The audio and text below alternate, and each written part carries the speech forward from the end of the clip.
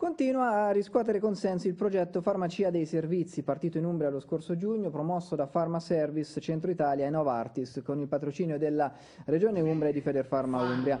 La campagna Il soffio che previene, riguardante la broncopneumopatia cronica ostruttiva e l'asma allergica, è in programma fino al 29 settembre nelle farmacie aderenti dei comuni di Perugia e Terni. L'utente interessato potrà sottoporsi a due screening gratuiti grazie agli strumenti messi a disposizione da Novartis.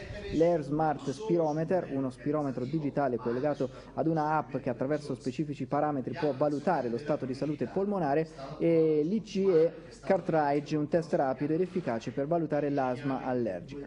La campagna Chiedi al tuo dermatologo inerente alla psoriasi sarà invece protagonista nel mese di ottobre. Durante questi appuntamenti le farmacie aderenti esporranno le relative locandine riguardanti il progetto, così da essere facilmente individuabili e forniranno agli utenti il materiale informativo sulle patologie.